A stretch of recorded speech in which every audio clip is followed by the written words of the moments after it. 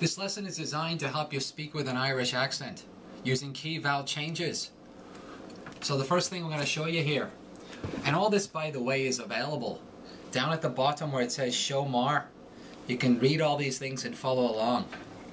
What we're going to do is we're going to take some vowel changes, go over them, and then we're going to apply them to a monologue from Pandora 2012. Um, all of this and more is available on Speak with an Accent, a CD. All the details are also available on the show more. In the meantime, feel free to follow along. The long I darkens to I. I. Carolinas. Irish. Ireland. Right. Trying. By. The short U turns to U as in look. Once. Must. Dozen. Gunslingers.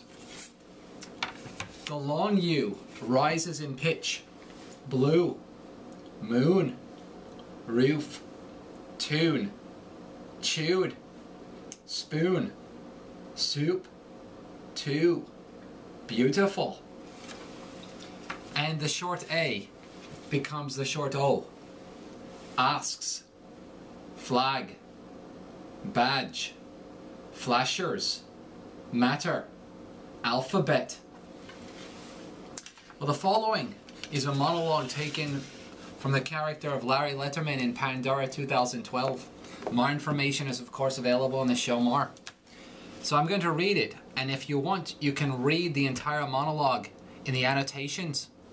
And um, what you might do is you might even pause this lesson for a minute, go over it once, and try to do an Irish, an Irish brogue on it, and then listen to me do it, following along, reading it, and then perhaps you try doing it yourself. Maybe going back and repeating the lesson, going through the sounds, and trying to just get the Irish brogue going on this particular dialogue.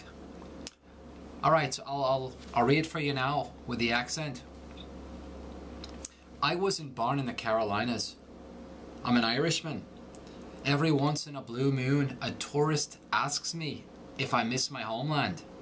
A day like today, I stretch out my arms and tell them they can keep Ireland. Heck, let them paint a Confederate flag on the roof of my olds and tune the horn to sing Dixie. You're not the first official to visit the box. In 07 alone, I must have locked horns with a dozen. They generally came in three shapes pencil sharpeners, badge flashers, and gunslingers. Didn't matter which flavor of Hubba Bubba they chewed. I want you to take this with the right spirit. Trying to regulate the box is like trying to win a spelling bee by dipping a spoon into alphabet soup. And the reason I brought you in outside was to emphasize my point. Sweetheart, tis too beautiful a day to buy the farm.